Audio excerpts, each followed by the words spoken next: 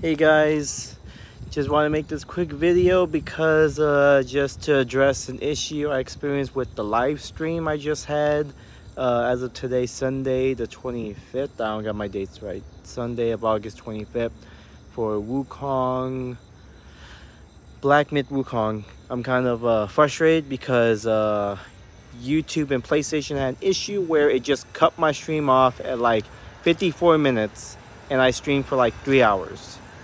So you only you guys only got like freaking um only like an hour's worth, you know, a quarter of what, you know, of, of the stream and everything that happened. So I'm just gonna give you a recap before I start the next one, which will be in like a day or two. More like a day or something, maybe. But anyway, so what happened was I ended up having to fight this guy.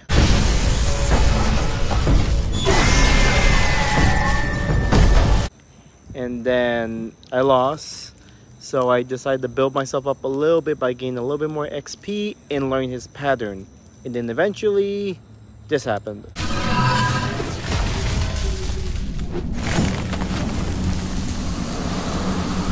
Yes, eventually I defeated him.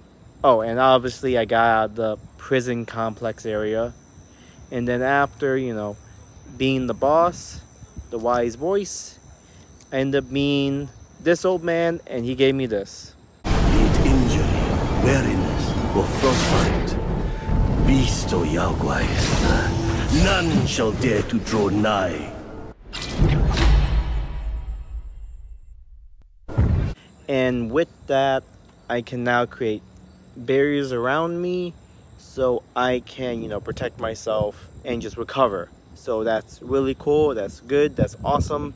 And so that's pretty much is just a quick recap route and the mundane stuff.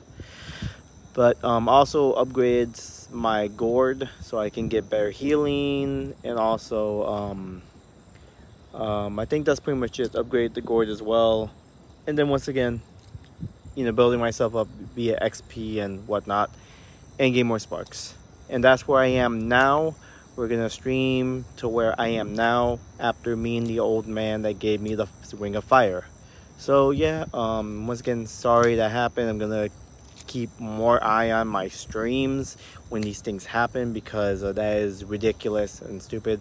And also I'm outside because I feel like this is more privacy for me. Anyways, catch y'all next stream. Bye-bye.